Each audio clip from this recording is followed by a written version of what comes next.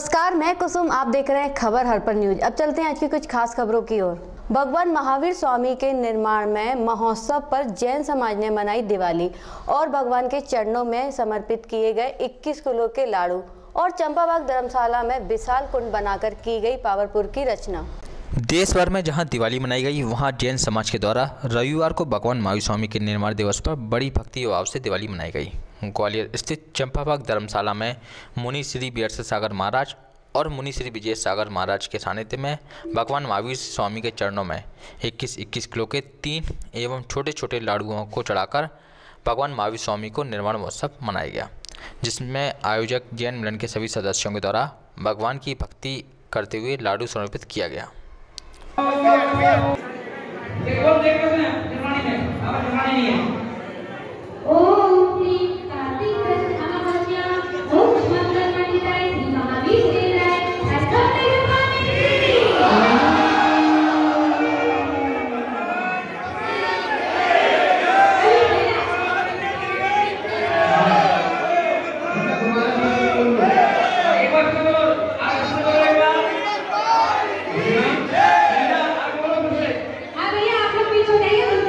जैन समाज के प्रवक्ता ललित जैन ने बताया कि शास्त्रों के अनुसार भगवान महावीर स्वामी पावपुरी तीर्थ से मोक्ष गए थे। इस अवसर पर जैन समाज के अनेक भक्त पावपुरी जाकर ही भगवान का निर्वाण महोत्सव मनाते हैं। लेकिन चातुर्मास कमेटी के द्वारा चंपाबाग धर्मशाला में ही पावपुरी की रचना की गई, जिसमें पंडाल के बीचों बीच एक विशाल जल कुंड बनाया गया। ऐसा लग रहा था मानो पावपुरी में ही भगवान के चरणों में लाडू समर्पित कर रहे हों।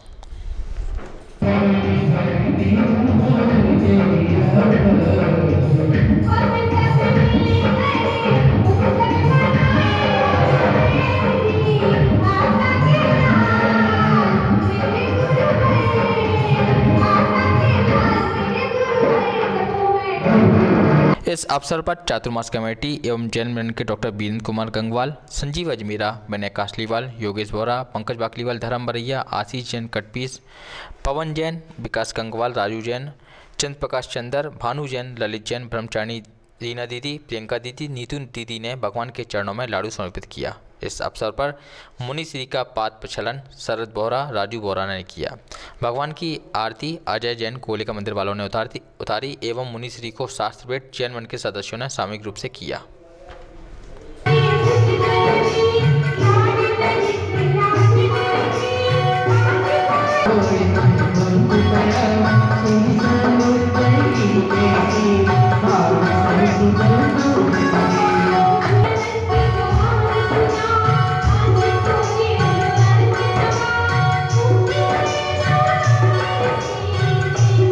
अवसर पर मुनि श्री ने दमसाओं को संबोधित करते हुए कहा कि आज हम सभी भगवान का मोक्ष कल्याणक दिवस मना रहे हैं और यह तभी सार्थक होगा जब हम भगवान के गुणों को आत्मसात करने का पुरुषार्थ करेंगे।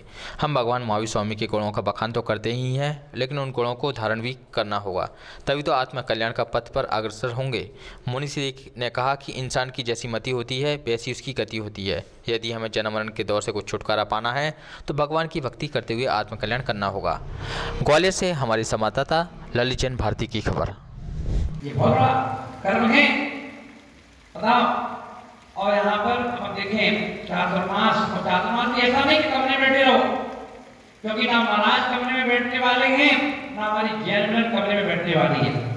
उन्हें भी प्रभावना का मज़ा आता है और मुझे आनंद आता है।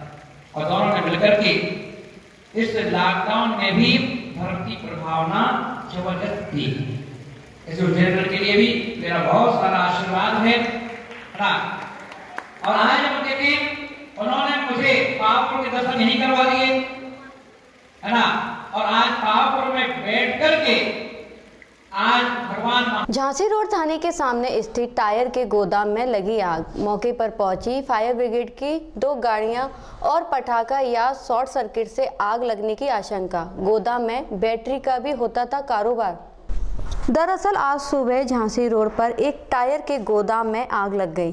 दमकल अमले ने यहाँ दो गाड़ी पानी फायर कर आग पर काबू पा लिया। कांग्रेस नेता और पूर्व सांसद राम सेवक सिंह के पुत्र के घर चोरों ने आधी रात को सूने मकान में बदमाशों ने तोड़ा घर का ताला। लाखों रुपए की नकदी और गहने लेकर हुए चंपत। झांसी रोड पुलिस कर रही है मामले की जाँच माधव नगर में रहते हैं धर्मवीर सिंह। ग्वालियर के झांसी रोड थाना इलाके में कांग्रेस के नेता और पूर्व सांसद राम सेवक सिंह के पुत्र के घर चोरी की घटना का मामला सामने आया है। बताया गया है कि आधी रात को सूने मकान में बदमाशों ने घर का ताला तोड़कर चोरी की घटना को अंजाम दिया। चोर यहाँ से लाखों रुपए की नकदी और गहने लेकर चंपत हो गए। घटना की सूचना पर मौके पर पहुँची झांसी रोड पुलिस मामले की जाँच कर रही है। घटना झांसी रोड के माधव नगर की है।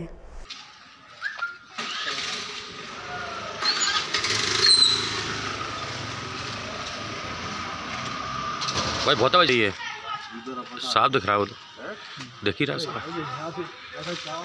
क्या पूरा मामला आपके घर बाद चोरी हुई है? क्या पूरा कितना क्या सामान गया होगा। ये सामान की डिटेल तो मेरा बेटा रहता है उसको मालूम है। पूरा डिटेल उसने दिया है पुलिस वालों को दिया है सब पूरा टीआई साहब को।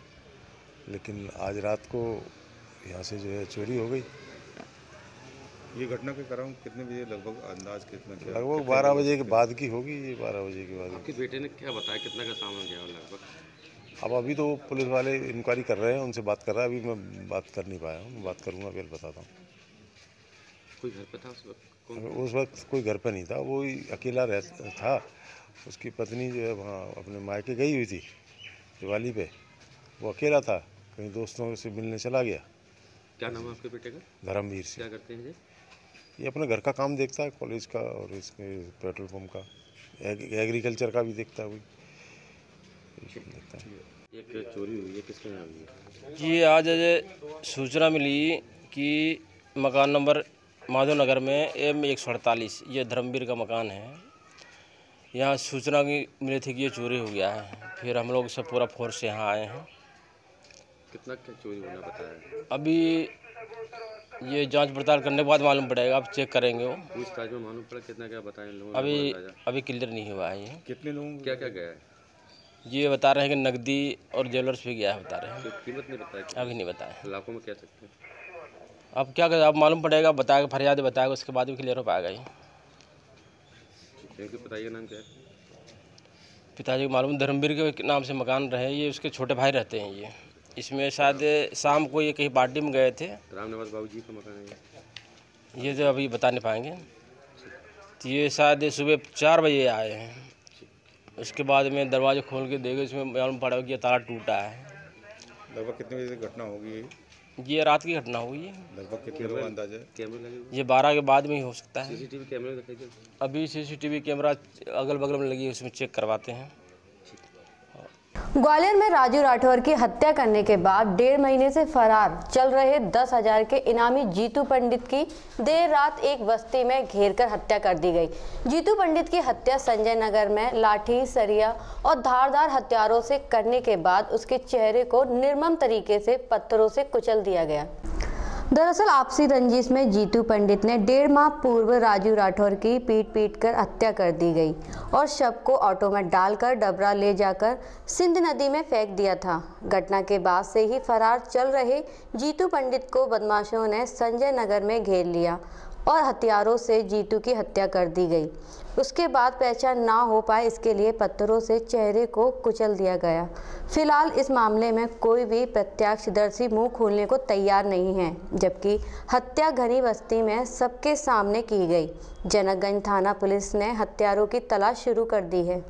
सोमवार को आचार्य श्री 108 विराग सागर महाराज जी के परम शिष्य मेडिटेशन गुरु मुनि श्री 108 बिहा संत सागर महाराज जी के सत्संग का भव्य पिचिका परिवर्तन समारोह का कार्यक्रम इटावा के माय मैरिज होम पर संपन्न हुआ। जैन मंदिर पर महिला मंडल के द्वारा बच्चों के नित्य कार्यक्रम कराए गए। सोमवार को आचार्य श्री 108 विराग सागर महाराज जी के परम शिष्य मेडिटेशन गुरु मुनि श्री 108 बिया संत सागर महाराज जी के सत्संग का भव्य पिछिका परिवर्तन, समारोह का कार्यक्रम इटावा के माया मैरिज होम पर धूमधाम से संपन्न हुआ। सभी जैन मंदिरों की महिलाएँ मंडल के बच्चों द्वारा नृत्य कार्यक्रम भी कराए गए। इसके बाद मेडिटेशन गुरु नई पिछी की गई उपरांत महाराज जी के मंगल विहार बारसो मध्य प्रदेश के लिए किया गया। इसमें महिलाएँ और पुरुषों ने कार्यक्रम और मंगल विहार बढ़ चढ़कर हिस्सा लिया।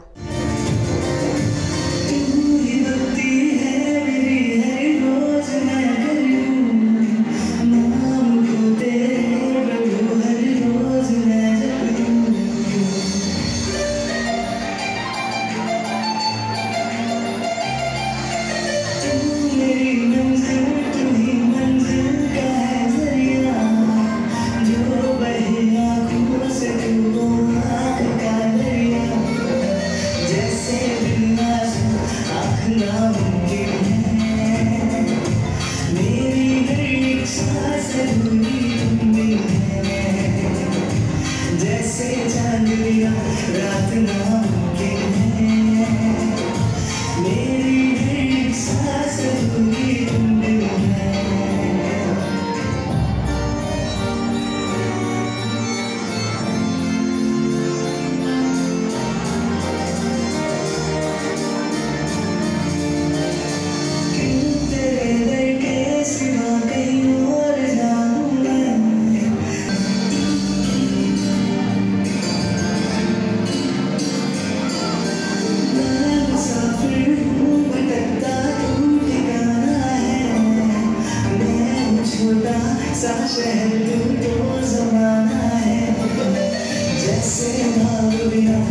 배신하고 있긴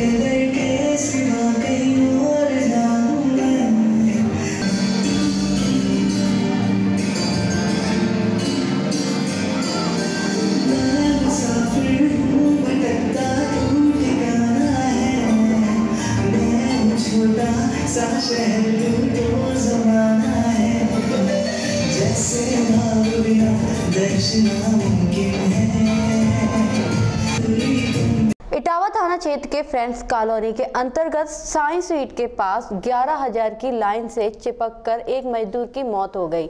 मजदूर की मौत के आसपास के लोगों में सनसनी फैल गई। इटावा थाना क्षेत्र के फ्रेंड्स कॉलोनी के अंतर्गत साई स्वीट के पास 11,000 की लाइन से चिपक कर एक मजदूर की मौत का मामला है। मजदूर की मौत के आसपास के लोगों में सनसनी फैल गई है, जिससे रोज की तरह यह गोविंद नाम का व्यक्ति, जिसकी उम्र 35 वर्षीय है, मजदूर पानी भरने गया था, पर क्या मालूम था कि आज उसकी ज़िंदगी का यह आखिरी दिन होगा। थाना फ्रेंड्स कॉलोनी पुलिस और सीओ सिटी राजीव प्रताप मौके पर पहुंचकर स्थिति को संभालने में जुटे हैं। मौके पर इटावा के पूर्व सांसद प्रेमदास कटेरिया व सदर सीट के पूर्व विधायक रघुराज सिंह साके भी मौके पर मौजूद हैं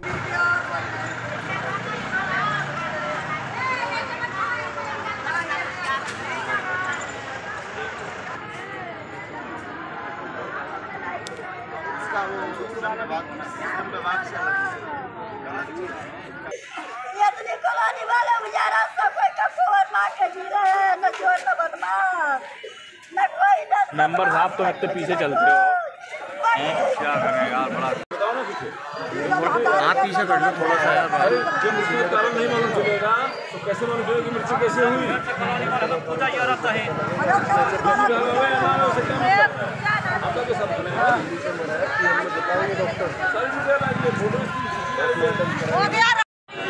सीओ साहब आप आप यहाँ पर आए हैं एक मृत्यु हो गई है। क्या पूरा मामला आज सूचना मिली थी कि गोविंद नाम के व्यक्ति की विजयनगर चौराहे पर करंट लगने से मृत्यु हो गई है, जिसके संबंध में उनके परिवारीजन को बिजली विभाग द्वारा आर्थिक सहायता मुहैया कराई जाएगी और बाकी इसमें जाँच करके आगे कार्रवाई की जाएगी।